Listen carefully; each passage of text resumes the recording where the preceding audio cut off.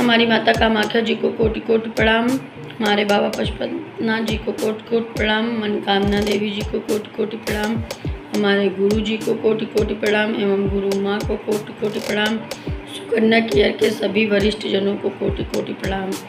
मैं अपना एक और फीडबैक वीडियो बना रही हूँ।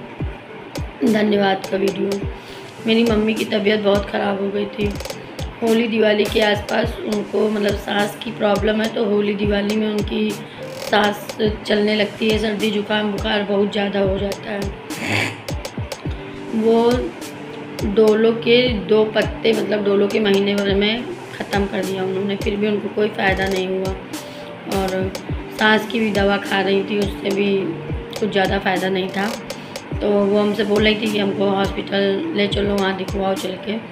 तो मैंने कहा, चलो ठीक है, मैं अभी पैड लगवाती हूँ, तुमको इस्तेमाल करवा रही हूँ, अगर उससे फ़ायदा नहीं होगा, फिर चलेंगे। लेकिन फिर मैं मैंने मम्मी को दो तीन दिन पैड बांधा, लगातार गले में बांधा और यहाँ नाक में लगाया था और गले में लगाया था। तीन दिन केवल मैंने बांधा, वो एकदम ठीक हो गई, उनकी आँखों में खुजली हो रही थी, आँसू निकल रहे थे और छींकें बहुत आ रही थी, खांसी भी बहुत ज़्यादा आ रही थी, सांस भी फूलने लगती थी, पर दो तीन दिन लगातार मैंने उनको लगाया और उनको काफ़ी आराम मिला।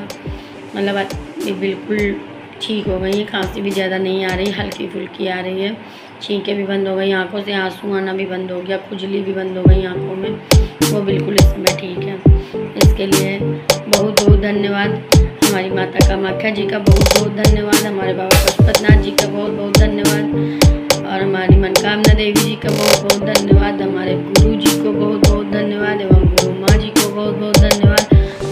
के के सभी वरिष्ठ जनों का बहुत बहुत धन्यवाद।